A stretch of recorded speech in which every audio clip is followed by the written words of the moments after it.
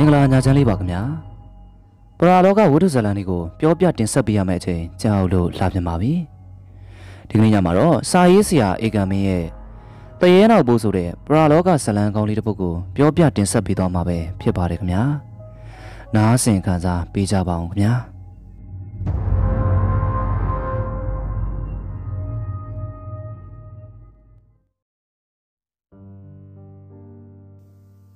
သမီးရေစိုးစိုးမ မပြီးသေးဘူးလားသမီးပြီးပြီအဖေရေအားလုံးထည့်ပြီးမှအမေကမလိုက်ဖြစ်ဘူးဆိုလို့အမေအတွက်ပြန်ပြီးတော့နှုတ်နေရတာကြီးအမေကဘာဖြစ်လို့မလိုက်တာတော့ဒီနေ့တော့တာအငယ်ကောင်ကြောင်းအပ်ရမယ်လေမနေ့ကမှလှတယ်နဲ့အတူတူသူနဲ့အတူသွားမယ်လို့မှားလိုက်တာစောစောကမှတတိယလို့ဖြစ်မှဖြစ်ရလေအေးပုံရအခုမှအသက်ကလေးက40ကျော်အောင်ပဲရှိသေးတယ်မေးတတ်လိုက်တာလေလွန်ရော ကဲအဲ့ဒါဆိုငါတို့အသားဖပဲသွားတော့မှာပေါ့သမီးတယောက်တည်းနဲ့ပြီးပါတယ်အဖေရဲ့ဒီနေ့တယောက်စာပဲကြံတာမဟုတ်ဘူးလားဟုတ်တာတော့လေဟုတ်တာပေါ့သမီးဟာသမီးရဲ့မိလိုက်တော့သမီးတတ်တာတာပေါ့တနေ့လုံးလောက်ရမယ်အလုံးနှစ်ယောက်လောက်လိုက်တော့မနက်ပိုင်းနဲ့တင်ပြီးသွားတယ်မဟုတ်ဘူးလားကဲကဲကဲလာတက်သွားကြမယ်နေမထွက်ခင်ကိုင်းထဲရောက်မှတတ်တာမှာသမီးရ စိုးစိုးမာကဖခင်ဖြစ်သူကိုထမင်းထုတ်ထည့်ထားတဲ့တောင်းကိုလှမ်းပေးလိုက်ပြီးတော့လှဲဘိန်းပေါ်မှာကုတ်ဖက်ပြီးတော့တက်လိုက်ပါတော့တယ်။အင်းကြီးလက်ရှိတနခါပကွက်ကြားကြီးနဲ့မျက်နှာတစ်ခုလုံးကိုဖွေးနေအောင်လိမ့်ထားပါသေးတယ်။လေခွင်းထဲမှာစီးရက်ကြီးအတက်တီကိုတွားပြီးတော့ဖက်ရမှာဖြစ်ပါတယ်။သူတို့လေထဲမှာစီးရက်ကြီးတွေစိုက်ပြိုးထားပါတယ်။စီးတွေမှာအရွက်ရှိရွက်ကိုရွက်လောက်ထွက်လာရင်တော့ခေါင်းညွန့်ကိုချိုးလိုက်ရပါတယ်။တို့မှသာကြီးမားကျေပြန့်တဲ့အရွက်တွေကိုရရှိပါလိမ့်မယ်။ အဲ့ဒီကိုအရွက်မျိုးရဖို့အတွက်ခေါင်းညွန့်နှိမ်လိုက်ရုံနဲ့မပြီးသေးပါဘူး။ပင်စီနဲ့အရွက်ရိုးတံမှာအတက်လေးတွေထွက်လာပါတယ်။အဲ့ဒီအတက်လေးတွေ၃လက်မ၄လက်မထက်ပိုးပြီးတော့ရှင်းမလာခင်ချိုးဖဲရပါတယ်။အတက်ကိုအကြီးခံလို့လည်းမဖြစ်ပါဘူး။အတက်ကိုနိုင်နိုင်ဖဲ့ပြင်နိုင်မှာအရွက်ကောင်းအရွက်လာလေးများရရှိပေမယ်။အရင်ပိုင်းမှာအရွက်ကြီးတွေကိုရိုးတံမှာတီးပြီးတော့အချောက်လန်းကစေးပြင်းလိုက်လို့ဖို့အတွက်ရောင်းရပါတယ်။အရွက်မလာတဲ့အပေါ်ပိုင်းအရွက်တွေကိုတော့ဓာလီဆေးရွက်အဖြစ်အသုံးပြုကြပါတယ်။ လှီးထားတဲ့ဆေးရွက်တွေကိုအချောက်လန်းပြီးတော့ဓာလီဆေးအဖြစ်ဆေးလိမ့်တဲ့ဆေးတံအတွက်အဓိကထားပြီးတော့ရောင်းဝယ်ကြပါတယ်။ဗာဂျီးနီးယားခေါ်တဲ့ဆေးရွက်ကြီးတွေကိုတတ်တက်ဆိုင်ပြီးတော့ကွန်စားဆေးအတွက်စိုက်ကြပါတယ်။အဲ့ဒီဆေးရွက်မျိုးကအကွက်အကွက်နဲ့အလွန်လှပါတယ်။ပင်စီအယိုးကိုဓာတ်နဲ့ဆင်းပြီးတော့ဆေးဘောလိမ့်မှာဆေးရုပ်အဖြစ်အသုံးပြုရပါတယ်။ဆေးအလုတ်ကလည်းအလုတ်ရှုပ်လာပါတယ်။ဆေးရွက်တီလူများငှားရရပါတယ်။တီလိုပြီးတဲ့အခါမှာလည်းဆေးရွက်ကြီးတွေကိုအချောက်ခံဖို့အတွက် ရှစ်ပေကန်ရှိတဲ့ဝါးတွေပေါ်မှာခွာပြီးတော့လှမ်းရပါတယ်။မနက်ဘက်မှာလှမ်းပြီးတော့ညနေဘက်မှာတော့ဆေးကိုတောင်အတွင်းကိုတည်ပြီးတော့သွန်းရပါတယ်မနက်ဘက်မှာလှမ်းပြီးတော့ညနေဘက်မှာရှုံနေမချောင်မချင်းလှမ်းရပါတယ်ဈေးလန်းတဲ့ဝါးစန်းစီတွေကလည်းတစ်ပင်ရိပ်မရှိတဲ့ချမ်းကြဲကြဲတမျိုးတစ်ခုမှရှိနေပါတယ်မနက်ဘက်မှာလှမ်းတဲ့အခါမှာတော့တတ်တာပါတယ်ဝါးရန်၃လေးတန်းကိုတခါတည်းလက်ရှုပြီးတော့တည်သွားလို့ရပါတယ်တညာလုံးမှာအေးအေးခန္ဓာတဲ့စီးရွက်တွေကပျော့ပျော့ပြောင်ပြောင်ဖြစ်နေသည်မဟုတ်ပါလား ညနေဘက်ဂိုတောင်တွေကိုပြန်သွားရင်တော့တခါတည်းရင်ဝါးတစ်လုံးမှသာတည်လို့ရပါတယ်ဝါးမှာရှိုးပြီးတော့လှမ်းထားတဲ့စီးရွက်တွေကနေပပူမှာကျွတ်ရွာနေပါတယ်။ထိမိခိုင်းမိတဲ့အခါမှာတဲ့အရွက်၆တွေကကျိုးပဲ့ကုန်ပါတယ်။အရွက်အရင်မှရှိနေတဲ့ရိုးတံ၆တီအထိလှမ်းရပါတယ်။အဲဒါကြောင့်လဲဝါးတန်းတရားရှိလျင်အခောက်တရားများအချင်းချင်းရုပ်သိမ်းရပါတယ်။နေပပူထဲမှာတပတ်ခန့်လှမ်းရပါတယ်။အလုံးလဲလျှောက်တယ်လို့အရင်ကလည်းဝင်ပေမဲ့ရရှိလာတဲ့ရောင်းရငွေကမြမျိုးမြက်မြက်လေးရသဖြင့် အပင်ပန်းခံပြီးတော့လုံနေကြခြင်းပဲဖြစ်ပါတော့တယ်။အလုတ်သိမ်းတဲ့အခါမှာဆက်ပြနိုင်နိုင်နဲ့ဆေးပေမဲ့လက်ဝါးပြင်မှာဝါပြီးတော့ကြံရစ်ခဲ့ပါတယ်။ဆက်ပြအပြင်ဖယဲသည့်အခွန်နဲ့ပုတ်တိုက်ပြီးဆေးမှသာဆေးကြီးတွေပြောင်းသွားပါတယ်။အခုဥခွင်ဆိုကလှဲကိုမောင်းနေပါတယ်။စိုးစိုးမာကထမင်းတောင်းကိုထိန်ရင်နဲ့လိုက်ပါလာပါတယ်။ဆေးရွက်ခိုးဖို့အတွက်တလားလောက်လိုပါသေးတယ်။အချိန်မမှန်အတက်တွေကိုဖဲ့ပေးနေရတာကြောင့်တပတ်တခါခန့်စိုက်ခင်းထဲကိုဝင်ရပါတယ်။ စိုးစိုးမာတို့မှာကလေဧက6ဧကရှိတဲ့အနက်လေးဧကကိုဆေးရွက်ကြီးတွေစိုက်ပျိုးပြီးတော့ကြံတဲ့ဧကကိုပြောင်းစိုက်ထားပါတယ်။ပြောင်းကတော့ချိုးပြီးတော့ရောင်းလို့ရနေပါပြီ။ဆေးရွက်ကြီးလေးဧကကိုတားဖ၃ယောက်နဲ့နေစား၂ယောက်ငားပြီးတော့အတက်ချိုးရပါတယ်။အေးအေးဆေးဆေးချိုးလို့မရပါဘူး။အဲ့ဒါကြောင့်လေနေသားသွင်းရတာပါ။နေသားခေါ်တဲ့အခါမှာမိန်းကလေးတွေကိုငှားပါမှာအလုပ်ပြီးတဲ့အထိလူမြဲပါတယ်။မိန်းကလေးတွေမအားလို့ယောက်ျားလေးတွေကိုငှားရင်တော့တရက်ထပ်ပို့ပြီးတော့ငှားလို့မရပါဘူး။ နောက်နေ့မှာအကြောင်းတစ်ခုခုပြပြီးတော့မလာကြတော့ပါဘူးစိုးစိုးမကလည်းအသက်၁၉နှစ်အပြိုကြီးပါပါဖြစ်နေပါပြီ။ရွာထဲမှာရှိနေတဲ့လူပြိုလူရွယ်လေးတွေကိုနေသားခေါ်တဲ့အခါမှာတော့ဂွမ်းပန်းတတာနဲ့လက်ခံပြီးတော့အလုပ်ခွင်ကိုရောက်လာကြပါတယ်အလုပ်တွေကလက်ဆမပြတ်သေးသဖြင့်နောက်နေ့ကိုဆင်းဖို့အတွက်မှားလိုက်ကြပါတယ်ဒါပေမဲ့အဲ့ဒီယောက်ျားလေးတွေကနောက်နေ့ဆင်းဖို့အတွက်ခါခါတီးတီးညင်းဆန်มาတော့တယ်အဲ့ဒီအပြင်ရွာထဲကကာလာသားအချို့ကလည်း စိုးစိုးမကိုတွေ့တဲ့အခါလူပြိုစကားမျိုးမတိတတိနဲ့ရီးတက်တက်ပြောကြပါတယ်အနောက်ကနေလိုက်ပြီးတော့စကားပြောတဲ့လူပြိုများပင်ရှိခဲ့ကြပါတယ်တခုထူးခြားတာဖြစ်နေပါတယ်အဲ့ဒီလိုစာချင်းပြောင်ချင်းရီးတက်တက်လောက်ကြတဲ့လူငယ်လူရွယ်တွေကတစ်ချိန်ကနေနှစ်ချိန်တက်ပို့ပြီးတော့လုံးလေမရှိကြပါဘူးစိုးစိုးမကိုတွေ့ရင်လည်းသူတို့နဲ့မသိတယ်လို့မဆိုင်တယ်လို့မျိုးဖြစ်သွားကြပါတယ်စိုးစိုးမကိုတွေ့ရင်နောက်ကျောင်းကိုပြန်ပြီးတော့လှည့်သူကလှည့်သွားကြပါတယ်အချို့တွေဆိုရင်စိုးစိုးမကိုတွေ့လိုက်တာနဲ့ ဝေးဝေးကနေရှောင်ထွက်သွားကြပါတယ်စိုးစိုးမရဲ့စိတ်ထဲမှာထူးဆန်းသလိုဖြစ်နေမိဒီမှာကြာလာပါပြီ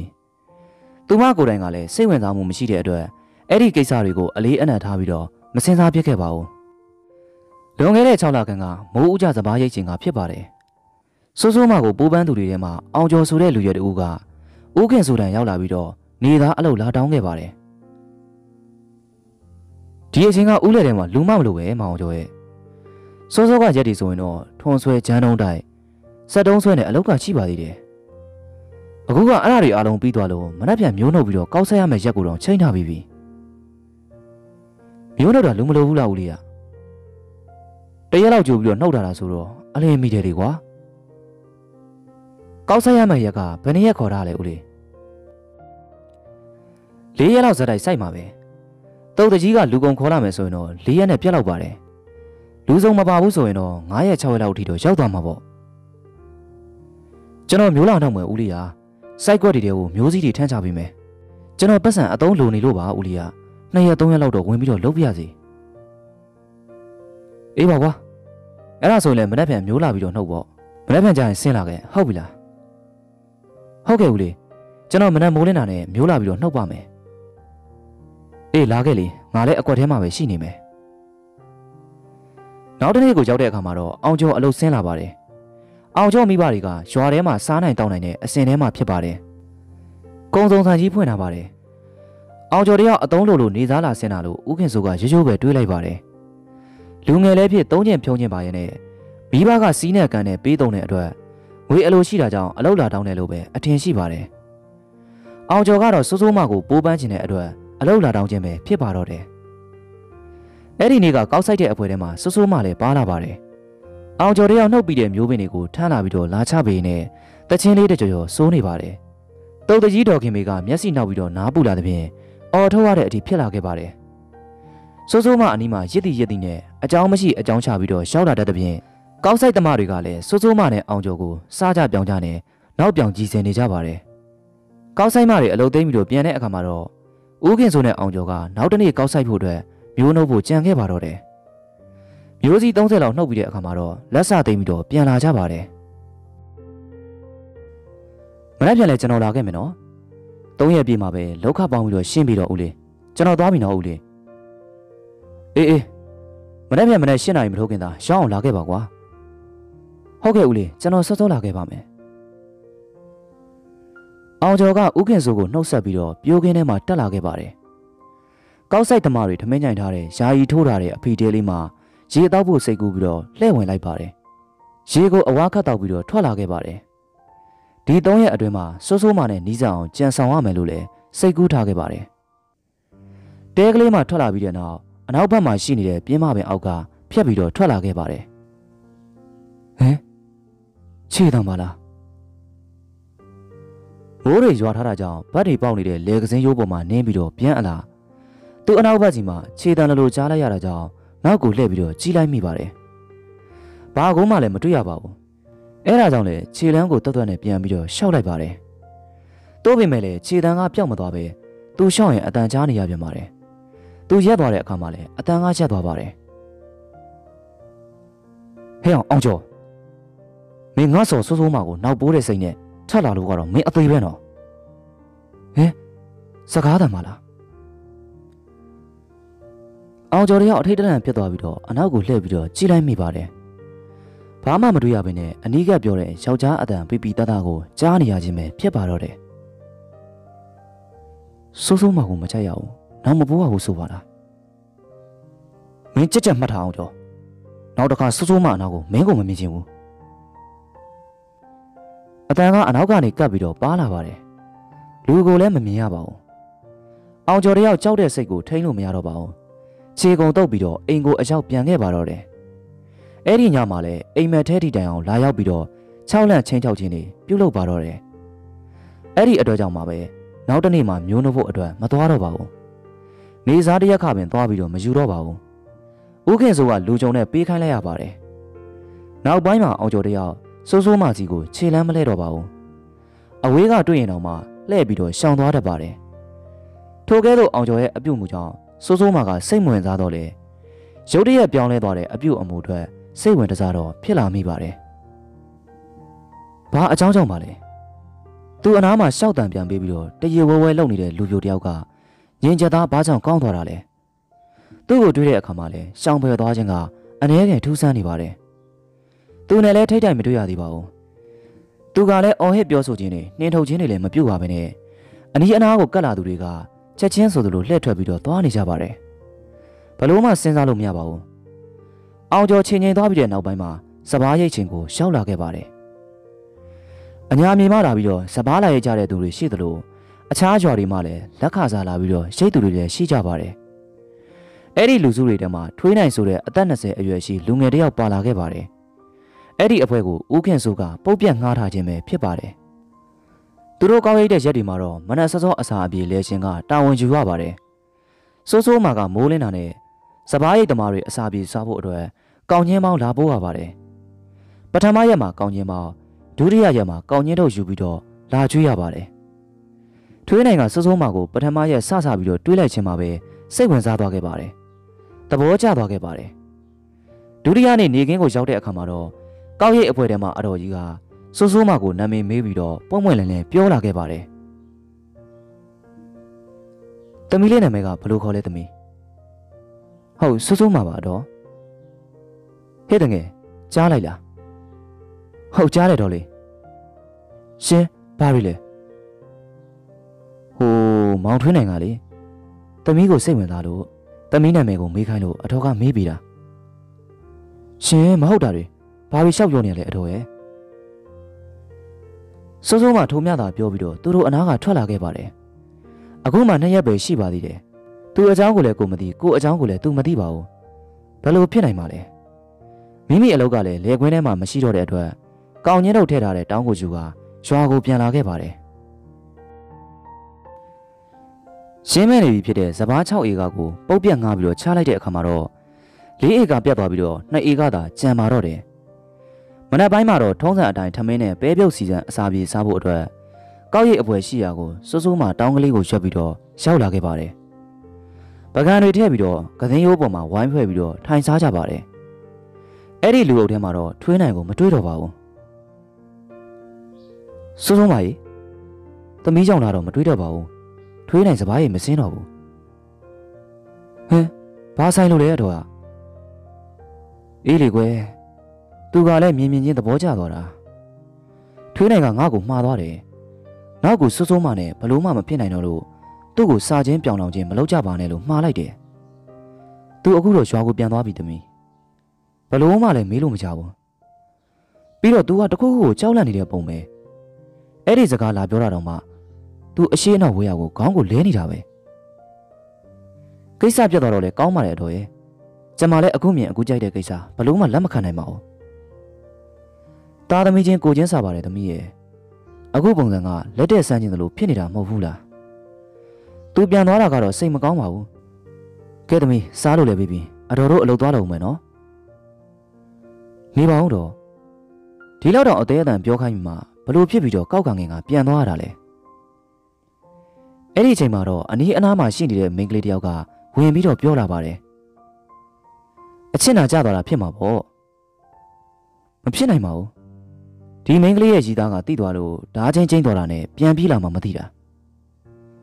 ကျမမှဘာရည်သားမှမရှိပါဘူးอืมဘာကြောင့်လဲတော့အတော်လည်းမသိပါဘူးကွယ်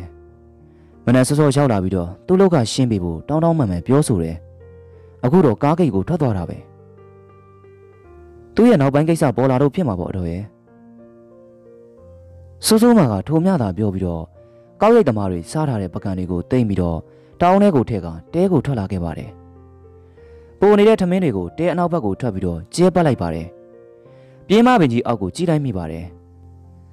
စာကလေးသုံးလေးကောင်ကအစာရှားနေတာကိုတွေ့ရသဖြင့်အိုးထဲမှာကျန်နေတဲ့ထမင်းတွေကိုလက်နဲ့ချစ်ယူပြီးတော့တစ်ပင်အောက်ကိုသွားပြီးတော့ပုံပေးကပြန်ပြီးတော့လှည့်ထွက်လိုက်ပါတယ်ဟဲဘာခုံချတာလဲ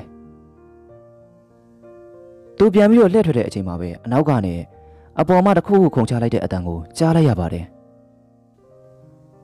ဘေဘီဝေယကိုကြည့်တဲ့အခါမှာလည်းဘာမှမမြင်ရပါဘူးအဲ့ဒါကြောင့်ပဲတဲစီကိုပြန်လာခဲ့ပါတယ်တစ်ပင်နဲ့တဲကပေ30ခန့်ကွာဝေးပါတယ်တဲကယာယီနားကုတ်ကိုအပြစ်ထိုးထားတဲ့ကနက်ပြင်းကိုတစ်ဖက်ရဲ့အပီချထားတဲ့တဲကလေးပဲဖြစ်ပါတယ်။တောင်ထဲကိုအိုးကိုထဲနေတဲ့အချိန်ရိတ်ခနဲ့လိုလိုအနီးမှာတွေးလိုက်မိပါတယ်။လူတယောက်အနီးကိုရောက်လာတဲ့အထင်နဲ့လှည့်ပြီးတော့ကြည့်လိုက်မိပါတယ်။ဘာမှလည်းမရှိပါဘူး။ ရှင်းတော့ဝဲရကိုကြည့်ပြန်ပါတယ်။ဘာမှမတွေ့ရပါဘူး။အဲ့ဒါကြောင့်တယောက်တည်းမနေဝန်းတော့တဲ့ပြင်အပြင်ကိုထွက်လာခဲ့ပါတယ်။ဦးခင်ဆိုတယောက်တမီးဖြစ်သူစိုးစိုးမှအရွယ်ရောက်လာတော့လေအခြေအနေကထူးသလိုဖြစ်နေတဲ့အတွက်ဇနီးဖြစ်သူဒေါ်ဝေးပုံကိုခေါ်ပြီးတော့နားလေတလောက်ရှင်းပြပါတော့တယ်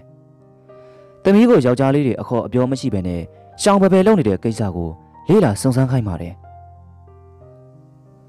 တော်ကဘာတွေကိုပူပင်နေရတာလဲ။ ကို့သမီးလေးရီးစားမထားတာအိမ်အောင်မပြုတ်ကျင်တဲ့စိတ်မရှိတာ။ဘယ်လောက်စိတ်ချမ်းသာဖို့ကောင်းလိုက်လဲ။ဟဲ့ငါလည်းသူ့အဖေပါဟာ။ရိုးရိုးတန်တန်ချစ်သူကြီးသားမထားချင်တာအကြောင်းမဟုတ်ဘူး။အခုကမင်းသမီးရဲ့အနာကိုယောက်ျားလေး၃လေးယောက်ချင်းကပ်တာငါသိတယ်။တယောက်မှဇွဲမရှိဘဲနဲ့မင်းသမီးရဲ့အနာကနေပျောက်ကုန်လို့ငါစိတ်ထဲထူးဆန်းနေတာ။တော်ကဘယ်လိုလုပ်ပြီးတော့သိတာလဲ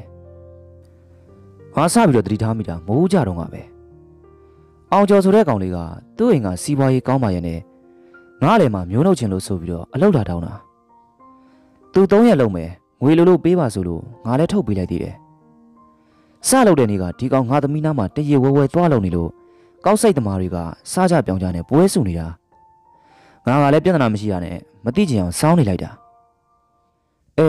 နောက်နေလေရောက်တော့အလုံးမစင်းတော့ဘူးဟာဒီကောင်၃ရက်ဆက်လို့ရင်ငါသမီးနဲ့ကျင်းစီကိုရည်သားဖြစ်သွားမှာ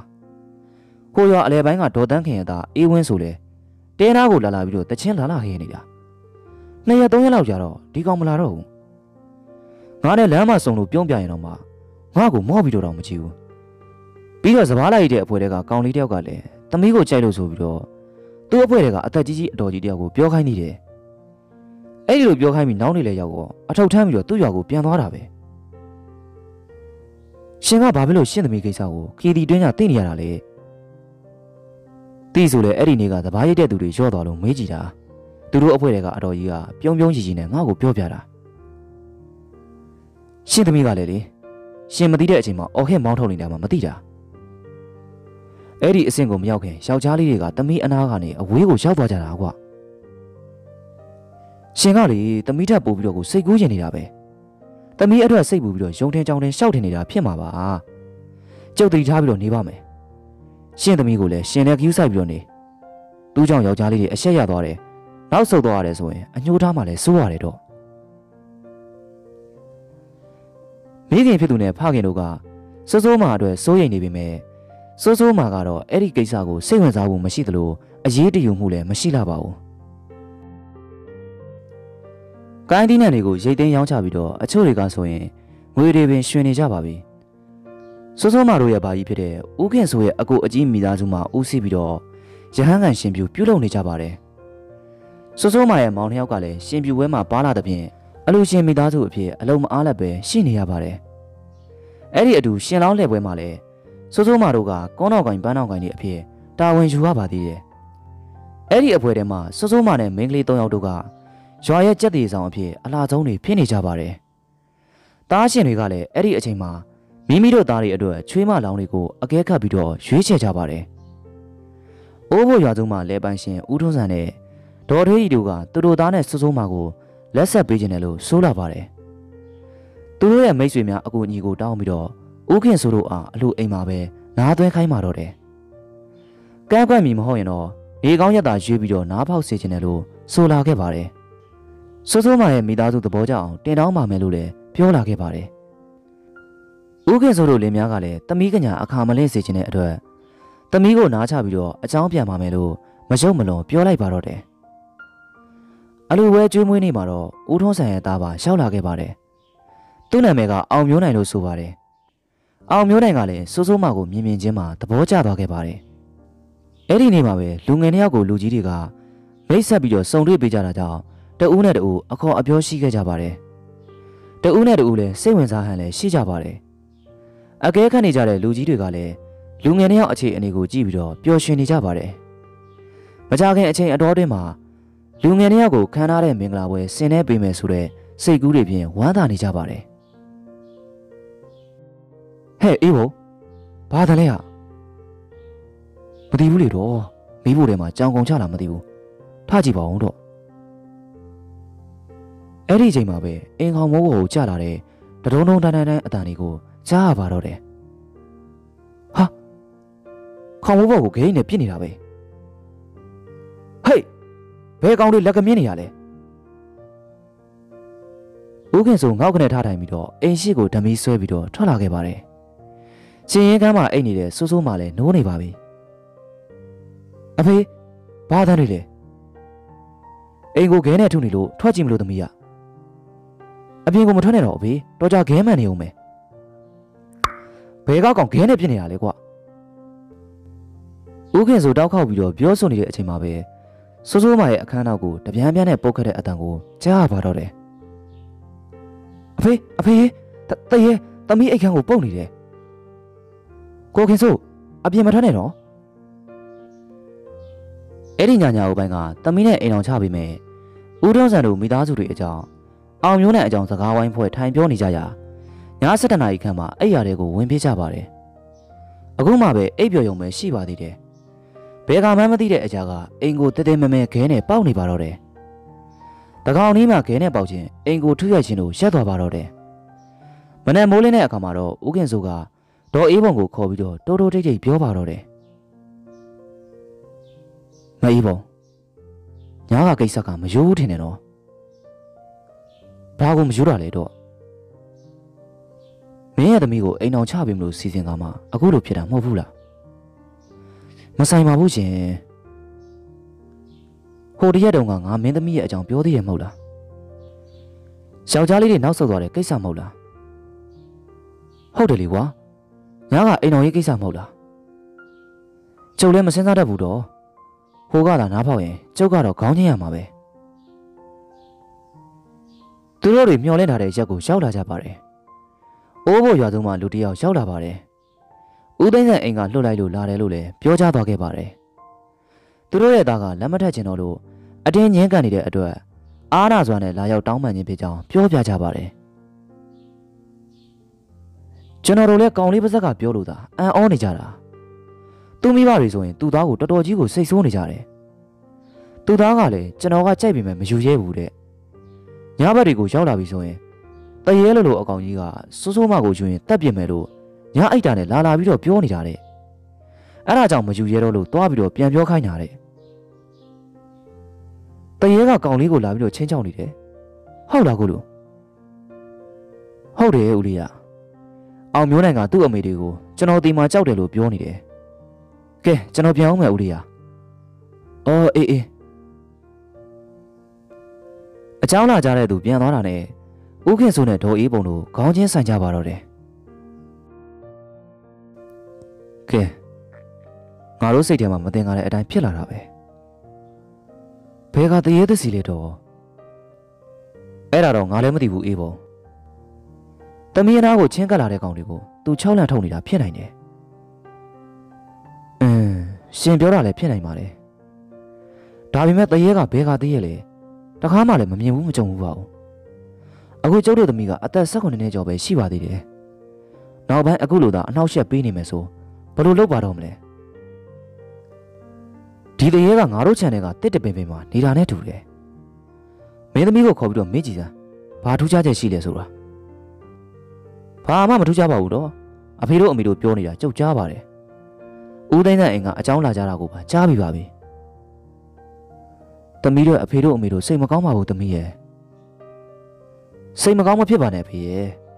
သမီးတို့ချင်းကချစ်သူတွေလည်းမဟုတ်ပါဘူးတယောက်အကြောင်းတယောက်တည်တည်ရတယ်မဟုတ်ပါဘူးအခုလိုဖြစ်သွားတာလည်းကောင်းပါတယ်ဦးခင်စိုးနဲ့ဒေါ်ရီုံတို့လည်းသမီးအတွက်ခေါင်းခဲနေကြပါတယ်တရက်မှာလင်မယားနှစ်ယောက်လေခွင်းထဲမှာအပြန်လမ်းမှာတူတူတိတ်တိတ်တိုင်ပင်လာခဲ့ကြပါတယ်မင်းကြီးမာရီရွာမှာသမီးကိုပို့ထားပြီးတော့ပျော်တလောက်နေခိုင်းရင်ကောင်းမလားဟုတ်တယ်နော်ကျမလည်းအဲ့ဒါကိုစဉ်းစားမိတယ် ပြီးတော့လည်းမတ်တင်လာကိုပြောအောင်မယ်တင့်တော်တဲ့တယောက်ယောက်တွင်ပေးစားလိုက်ပါလို့အေးကောင်းတယ်ကွာအဲ့ဒါမှဒီတရေရံကလွတ်မှာရှင်ပဲရှင့်သမီးကိုသွားပို့လိုက်လေမင်းမလိုက်တော့ဘူးလားမလိုက်တော့ပါဘူးတော့နှစ်ယောက်လုံးသွားရင်နွားကိစ္စတွေရောကိုရင်တွေဆွန်းလောင်းဖို့ကိစ္စတွေရောကျုပ်အိမ်မှာရှိမှဖြစ်မှာလင်မယားတယောက်ကြိုတင်ပြီးတော့တိုင်ပင်ထားတဲ့အတိုင်းမကြတော့ချက်မှာပဲဦးခင်စိုးတယောက် အဲ့ဒီကိစ္စကိုအကောင်အထည်ပေါ်ပါတော့တယ်ပေ90ကျယ်ပြန့်တဲ့ချောင်းအတွင်းမှာလှေကလေးတစ်စီးကိုဦးခင်စိုးကလှော်ခတ်လာပါတယ်စိုးစိုးမာကတော့လှေဦးမှာထိုင်းလာပါတယ်စိုးစိုးမာတို့ရဲ့အတော်လေးနေတဲ့ထင်းကုန်းကျော်ကလှေနဲ့ဆိုရင်3နာရီနေပါလောက်လှော်ပြီးတော့သွားရပါတယ်ချောင်းတစ်ဘက်ကန်ကိုတက်ပြီးတော့နိုင်ဝက်လောက်နေပါလမ်းလျှောက်ပါမှာရွာကိုချောက်ပါတယ်အဲ့ဒီချောင်းကຫນွေဩမိုးပါရေမခမ်းတဲ့ချောင်းပဲဖြစ်ပါတယ်ဦးခင်စိုးတို့ကရောအလဲမှာနေထိုင်ပြီးတော့ လေကလည်းချောင်းကိုဖြတ်သွားတယ်မလို့တဲ့အတွက်လှေမရှိပါဘူးအဲဒါကြောင့်လဲဇနီးတဲ့ရဲ့ညီမနေထိုင်တဲ့ချောင်းကိုတမီးကိုလိုက်ပို့ဖို့အတွက်အတီးတယောက်ရဲ့လေကိုငှားပြီးတော့ထွက်လာကြခြင်းဖြစ်ပါတယ်မနက်ပိုင်းထမင်းစားပြီးတော့တားဖနေအောင်ထွက်လာကြခြင်းဖြစ်ပါတယ်လှေကိုလောနေရင်လည်းခီးတဝက်တာတာခန့်ကိုအရောက်မှာတော့ရင်ငတ်တယ်လို့လို့ဖြစ်ပြီးတော့ဆက်လိုက်တောက်ဖို့အတွက်စိတ်ကူးရလိုက်ပါတယ်အိတ်ကထဲမှာထည့်ထားတဲ့စီးဘောလေးကိုထုတ်လိုက်ပါတယ်ဆေးလိုက်တာတွေ့ပြီးတော့မီးချက်ကအိတ်ကထဲမှာမရှိပါဘူး။ တမီးတောင်းထဲမှာမီးချက်ပါလား။ရှာကြည့်သမ်းမအောင်တမီးရဲ့အဖေကရွင်းချင်လို့အဖေကလည်းလေလေကားတိုက်နေတာမီးချက်ရှိလဲမီးချက်လို့ရပါမလားအဖေရဲ့ဟိုရောက်မှာပဲတောက်ပါလား။ကဲပါရှာသမ်းမတမီးဟာအဲ့ဒီအချိန်မှာပဲဦးခင်စိုးရဲ့အနောက်ဘက်မှနေပြီးတော့ပခုံးမော်ကိုကြော်ပြီးတော့လက်ကြီးတစ်ချောင်းထွက်လာပါတယ်။အဲ့ဒီလက်ထဲမှာတော့မီးချက်တစ်လုံးပါလာပါတယ်။ဟာတရေအဖေဘလို့ဖြစ်တာလဲ ပကုံးပေါ်မှာထွက်လာတဲ့လက်ကြီးမှာအမွေးအမြင်တွေကလည်းရှည်လျားတာပေါက်ရောက်နေပါတယ်အဲ့ဒီလက်ကြီးကမိချစ်ကိုကင်ပြီးတော့ပေးနေပါတယ်စိုးစိုးမကလှည့်ကြည့်ပေမဲ့မြင်ပုံမရပါဘူးဦးခင်စိုးတယောက်လည်းထိတ်လန့်ပြီးတော့អော်လိုက်တဲ့အတွက်လက်ကြီးကပျောက်ထွက်သွားပါတယ်ဦးခင်စိုးလည်းစုံပြတ်ချက်ချလိုက်ပြီးတော့လှေကိုပြန်လှည့်လိုက်ပါတယ်အဖေဒေါ်လေးတို့ကြောက်ကိုမသွားတော့ဘူးလားမသွားတော့ဘူးသမီးနောက်မှပဲသွားကြတော့မယ် လောက်ပြီဖေဟာလမ်းတော့ကိုရောက်မှပြန်လဲရတယ်လို့ဦးခင်စိုးတယောက်လည်းဘာမှပြန်မပြောတော့ဘဲနဲ့ရွာကိုသာပြန်လိုလာခဲ့ပါတယ်တရေကသမီးသွားတဲ့နောက်ကိုလိုက်လာပုံရပါတယ်သမီးသွားလျာတရေလျှောက်လိုက်နေမယ်ထင်ပြီးတော့သမီးကိုမျက်ွယ်ရမှာမထားနိုင်ဘူးဆုံးဖြတ်ကလှေကိုပြန်ပြီးတော့လှောလာခြင်းပဲဖြစ်ပါတော့တယ်အိမ်ပေါ်ကိုသားပါနှစ်ယောက်တက်လာတာကိုဒေါ်အေးပုံမြင်တဲ့အတွက်အံ့ဩနေမိပါတယ်အံ့ဩမနေနဲ့မိမကြီး မင်းကြီးမရွာမှာမင်းရဲ့သမီးကိုထားခဲ့ဖို့ဘလို့မှမဖြစ်နိုင်လို့ပြန်လာခဲ့တာကိုသမီးကိုတန်ရောစင်မပြတ်ဘဲနဲ့တွားပြီးတော့ပိုးရတယ်လို့တော့သမီးကိုမခွဲနိုင်တာလည်းမခွဲနိုင်တာပေါ့ကွာဒါပေမဲ့ဒီတက်ဆိုတဲ့အကြောင်းကြောင့်ပြန်ခေါ်လာခဲ့တာဘလို့ပြစ်ပြန်ပြီလဲရှင်စဉ်းစားမအောင်ငါတို့လေပေါ်မှာဟိုအကောင်တရေလိုက်လာလို့ဟမ်ဟုတ်တယ်အေးပေါ့အဲ့ဒါကြောင့်ပြန်လဲလာခဲ့တာ ဦးခင်စိုးကလမ်းမှာကြုံကြရပုံကိုရှင်းပြလိုက်ပါတယ်ကဲအဲ့ဒါဆိုရင်ဒီတိုင်းကြည့်နေလို့တော့မဖြစ်တော့ဘူးနော်ဆရာကောင်းတမကောင်းကိုရှာမပဲဖြစ်တော့မယ်ဦးခင်စိုးတို့လည်းများကအသီးမိတ်ဆွေတွေကိုအားကိုအားထားပြုပြီးတော့ဆရာကောင်းတမကောင်းကိုတွေ့ဖို့အတွက်ကြိတ်ပြီးတော့ရှာဖွေနေကြပါတယ်ဟဲ့သမီးစိုးစိုးဘာဖြစ်လို့လဲဘာသမီးလဲစိုးစိုးသမီးလေး တတိထားလေငါစိုးစိုးမှမဟုတ်ဘူးကွာတောက်ထိန်ဟမ်ဘဲကားတောက်ထိန်လဲမင်းတို့တဲအနောက်ဘက်ကပြင်းမပြင်းမနေတဲ့တရေတောက်ထိန်ငါမင်းတို့လင်မယားကိုတတိပေးခြင်းလို့ရောက်လာခဲ့တာခမ ्या ကစိုးစိုးမကိုဘာဖြစ်လို့အနောက်ရှက်ပေးနေတာလဲငါစိုးစိုးမကိုအနောက်ရှက်ပေးတာမဟုတ်ဘူးကွာသူအနာကိုရောက်လာမယ်အကောင်မှန်သမျှကိုအနောက်အရှက်ပေးနေတာ ဘယ်သူမှစိုးစိုးမနဲ့အိမ်အောင်ပြုတ်လို့မကြဘူးဒါဖြင့်စိုးစိုးမကအိမ်အောင်မပြုတ်ရဘူးပေါ့ငါနဲ့ပြုတ်မှာတရင်နဲ့လူအတူနေလို့ဘယ်ဖြစ်မလဲဗျငါကသူနဲ့အတူလာနေလို့မကြပါနဲ့သူကငါနဲ့အတူလာနေလို့ရတယ်သူအသက်20ပြည့်ရင်ငါနေတဲ့နေရာကိုအသက်နှုတ်ပြီးတော့ခေါ်တော့မှာအဲဒါကြောင့်အသက်20မပြည့်မချင်းမှာငါအတူအနာကိုဘယ်ယောက်ျားလေးမှအကတ်မခံတာ သမီးလေးအသက်20ကျရင်ခေါ်မယ်ဟုတ်လားဦးခင်ဆိုလို့လည်းများထိတ်လန့်သွားပါတယ်အေးဟုတ်တယ်အနောက်အချက်ပေးမယ်ဘသူကမှခွင့်မလုပ်ဘူးနော်အဲ့ဒီလိုမကြည်မချမ်းပြောပြီးတော့စိုးစိုးမှခန္ဓာကိုယ်မှာဝင်ရောက်ပူးကန့်နေတဲ့တရေထွက်သွားတာကြောင့်စိုးစိုးမှမှထိုင်းနေရမှာပျော့ခွေကျသွားပါတယ်ဟဲ့သမီးစိုးစိုးမှသမီးခဏနေတဲ့အခါမှာတော့စိုးစိုးမှတတိရလာပါတယ် ဘယ်လိုလုပ်ကြမလဲအခုမှဒုက္ခလလကြီးတွေ့ပြီနေစမ်းမအောင်ကွာငါစဉ်းစားပြစီရောတရေသက်စီတွေကိုကောင်းကောင်းနိုင်တဲ့ဆရာတွေရှိပါတယ်တိတ်ပြီးတော့လဲစိတ်ပူမနေပါနဲ့ဒီတရေကိုနိုင်မှဖြစ်မှာတော့မနိုင်လို့ကတော့သူကနေပြန်ပြီးတော့ဒဏ်ခတ်မှာစိုးရတယ်မနက်စောစောဦးခင်စိုးတယောက်ရွာထဲကိုထွက်သွားပါတယ်တနေ့လုံးဦးခင်စိုးပျောက်နေပါတယ်ညနေ၄နာရီခန့်ကိုအရောက်မှာတော့အိမ်ကိုပြန်လာခဲ့ပါတယ် ဦးခင်စိုးနဲ့အတူအသက်60ခန့်လူကြီးတယောက်လည်းပါလာပါတယ်လွယ်တလုံးလွယ်ထားသလိုအညာဆောင်တစ်ပတ်တစ်ထည်လည်းခေါင်းပေါင်းထားပါတယ်အထက်လန်းပညာကိုလိုက်စားနေတဲ့ဆရာတယောက်ကကြက်ခတ်တော်ရွာမှာရှိတယ်ဆိုတာကြောင့်တလဲဆတဲ့လိုက်ပို့သူနဲ့အတူသွားပြီးတော့အိမ်ကိုပင့်လာခဲ့ခြင်းပဲဖြစ်ပါတော့တယ်ဆရာကြီးရဲ့နာမည်ကတော့ဦးပန်းအောင်လို့ခေါ်ပါတယ်ကြွပါဆရာမအေးပုံရင်ဖျာခင်းမအောင်ကွာဒီမှာဆရာပါလာလို့ ဒေါ်အေးပုံတယောက်လည်းဦးခင်ဆိုရဲ့အတန်ကိုကြားတာကြောင့်ဘီးဖို့အခန်းထဲမှာအပြင်ကိုထွက်လာပြီးတော့အိမ်ကောင်းရဲ့ဘက်မှာတင်ပြူးပြာကိုချပြီးတော့ခင်းပေးလိုက်ပါတယ်ဆရာဦးပန်းကောင်ကထိုင်ပြီးတော့ခဏမြအကြာရှင်းနောက်ဝဲရကိုစောင်းငယ်ကြည့်လိုက်ပါတယ်မောင်ခင်ဆိုရဲ့သမီးရှိလားခေါ်လိုက်လေဟုတ်ကဲ့ဆရာမအေးပုံစိုးစိုးမရောမီးဖို့ထဲမှာထမင်းချက်နေတယ်သမီးစိုးစိုးလက်ဆေးပြီးတော့ထွက်ခဲ့အောင် ခဏအတွင်းမှာတော့စိုးစိုးမအပြင်ကိုထွက်လာပါတယ်လာသမီးဆရာရှိမှလာထိုင်သမီးကိုတရေကဘလို့အနောက်ရှက်ပေးတယ်လဲသမီးကိုဒီနေ့ဒီချိန်ထိအိမ်မက်ပေးတာတော့အနောက်အရှက်ပြူတာတော့တခါမှမလုပ်ဘူးပါဘူးမနေ့ကညနေပိုင်းသမီးကိုဝင်ပူးကပ်ပြီးတော့ပြောသွားတယ်လို့အမေတို့ကတော့ပြောပါတယ်อืม ဒီအတိုင်းဆိုရင်မိန်းကလေးကိုအရေးတကြီးကြီးနဲ့ယောက်ျားလေးတွေအနာမကတ်နိုင်အောင်စောင့်နေတဲ့ပုံပဲမိန်းကလေးအသက်20မပြည့်မချင်းကိုယ့်ဘက်ကအခွင့်အရေးရှိနေသေးတာပဲဘာမှမစိုးရင်ကြပါနဲ့ကဲမိန်းကလေးရဲ့အမေကမိဖို့ကြောင့်အခန်းတကားရှင်တွားပြီးတော့ဖွင့်တာပါရေကပြင်းအထိအားလုံးကိုပွင့်နေပါသေးထမင်းဟင်းဟိုးတွေအားလုံးကိုလုံအောင်ဖုံးပြီးတော့ပြန်လာခဲ့ပါဒေါ်အေးပုံတယောက်မိဖို့တွေကိုဝင်သွားပါတယ် တကားအားလုံးကိုဖွင့်လိုက်ပါတယ်ချက်ပြုတ်ထားခဲ့တဲ့အိုးတွေအားလုံးကိုလုံခြုံအောင်ဖုံးပြလိုက်ပြီးတော့အပြင်ကိုပြန်ထွက်လာခဲ့ပါတယ်ဆရာကြီးကဖျားစင်မှာဖျောင်းနိုင်တွေအမွှေးတိုင်တွေကိုထွန်းညှိပြီးတော့ပူဇော်နေပါတယ်အဲ့ဒီအချိန်မှာပဲဘလို့သတင်းကြလဲမသိပါဘူးတယောက်စနှစ်ယောက်စအိမ်နီးနားချင်းလူတချို့အိမ်ပေါ်ကိုတက်လာကြပါတယ်ဆရာကဖျားစာတွေရွတ်ဆိုပြီးတော့ပူဇော်နေပါတယ်ဖျားကိုဥသုံးချိန်ချပြီးတော့အနောက်ဘက်ကိုလှည့်ပြီးတော့ထိုင်လိုက်ပါတယ် ဆရာရဲ့ရှေ့မှာကျုံကျုံကလေးထိုင်နေတဲ့စိုးစိုးမာကိုဆရာကပြောပါတော့တယ်ကဲမိန်းကလေးကိုအနှောက်အယှက်ပေးနေတဲ့ဝန်းကျင်ကောင်ကိုငါဆရာခေါ်မယ်မိန်းကလေးရဲ့အနောက်ဘက်တက်တဲ့မှာဘယ်သူမှမထိုင်ကြပါနဲ့ဒီဘက်ဘေးမှာလာပြီးတော့ထိုင်ကြပါအိမ်ပေါ်မှာတော့၄၅6အများရောက်နေပါတော့တယ်ကဲမိန်းကလေးအနောက်မှာတကောက်ကောက်လိုက်နေတဲ့ဝန်းကျင်ကောင်အခုအထက်ဆရာကြီးရဲ့အမိန့်နဲ့တူငါဆရာခေါ်ရဟိ အခုရှိတဲ့နေရာကအမြန်ရောက်လာခဲ့ပါအထက်ပုဂ္ဂိုလ်များနဲ့အထက်ဆရာကြီးများရဲ့အမိန့်အရငါဆရာခေါ်နေတယ်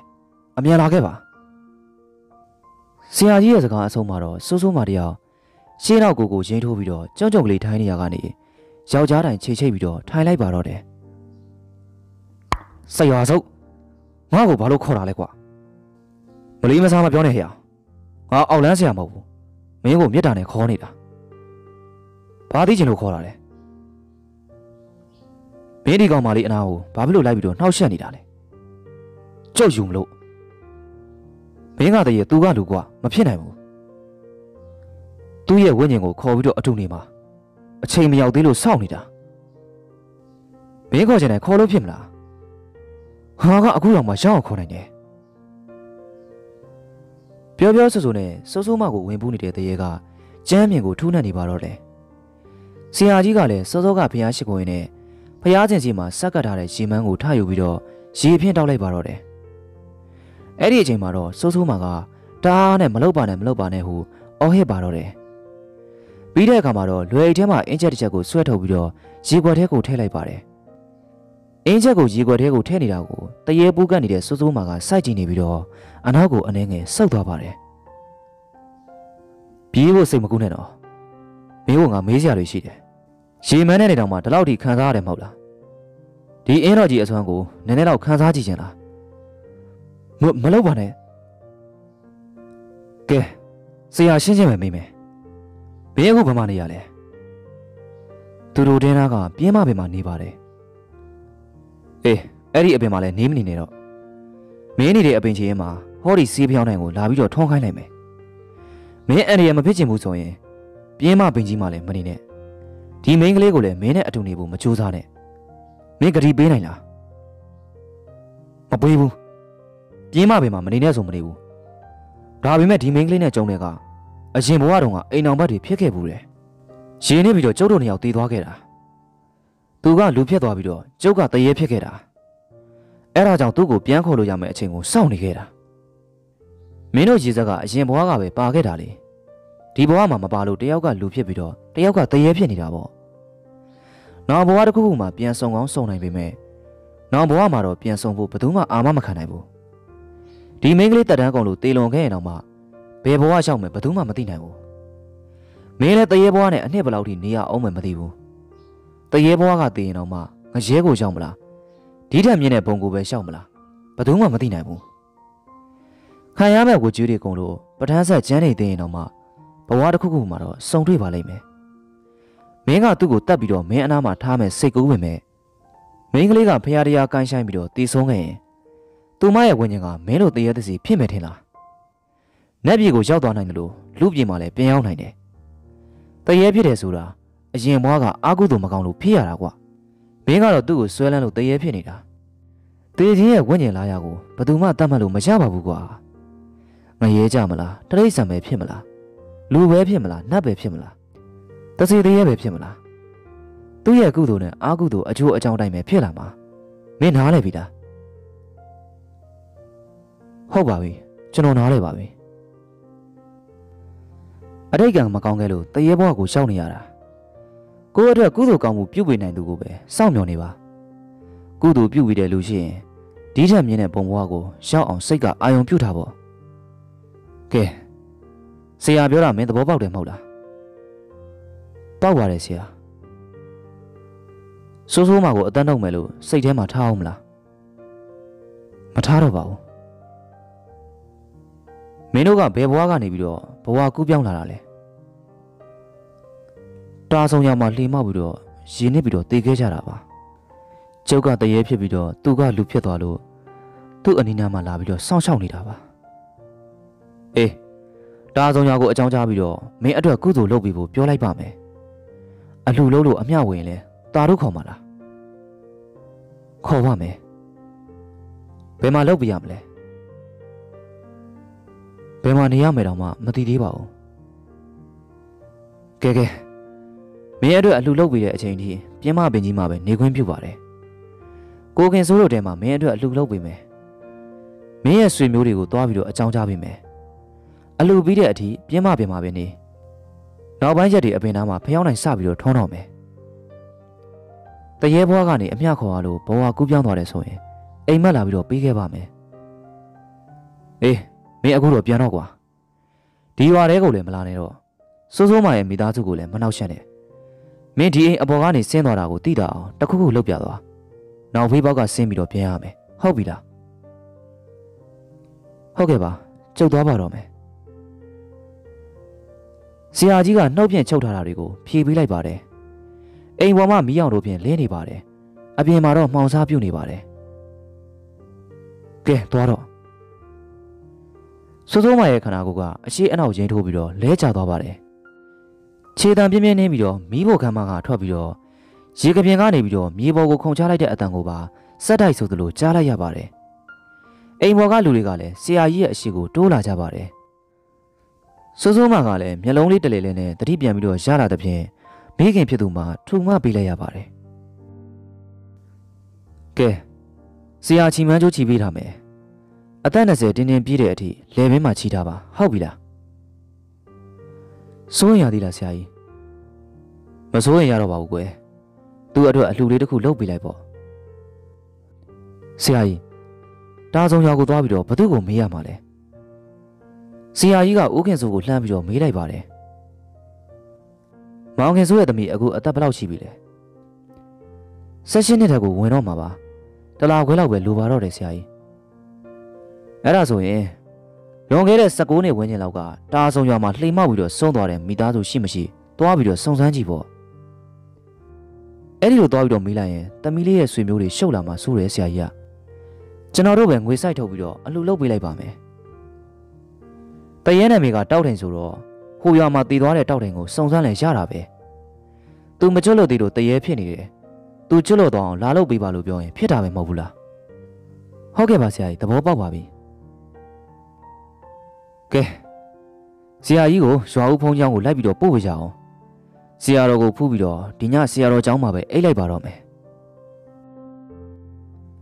ဦးခင်စိုးကဆရာကြီးကိုဖုံးကြီးကျောင်းကိုလိုက်ပြီးတော့ပို့ပေးလိုက်ပါတယ်။ မကြခင်အချိန်အတွင်းမှာပဲဦးခင်ဆိုရဲ့ကြိုးစားမှုတွေနဲ့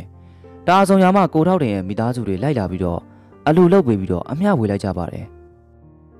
ဦးခင်ဆိုကလည်းအလူငွေတစ်ဝက်ထည့်ပြီးတော့လှူပေးခဲ့ပါတယ်တရေတောက်တင်ကဂရီပေးထားတဲ့အတိုင်းဘသူမှအနှောက်အယှက်မပေးတော့ပါဘူးတရေအစင်းနဲ့မြင်းတဲ့ပုံကိုကူးပြောင်းပြီးတော့ရောက်ရှိသွားပြီလို့လည်းအိမ်မလာပေးခဲ့ပါတယ်ဟုတ်ကဲ့ပါခင်ဗျာစာရေးဆရာအေကံမင်းရဲ့တရေနောက်ပို့ဆိုတဲ့ပရာလောကဇလံကောင်းလေးကတော့ဒီညမှာတင်ပြီးဆုံးသွားပါပြီခင်ဗျာ ဇလံလေးကိုစောအောင်နားထောင်ပြီးရတဲ့အတွက်အားလုံးကိုကျေးဇူးတင်ပါတယ်စီစဉ်တင်ဆက်သူကတော့ကျွန်တော်ထအောင်ပဲဖြစ်ပါတယ်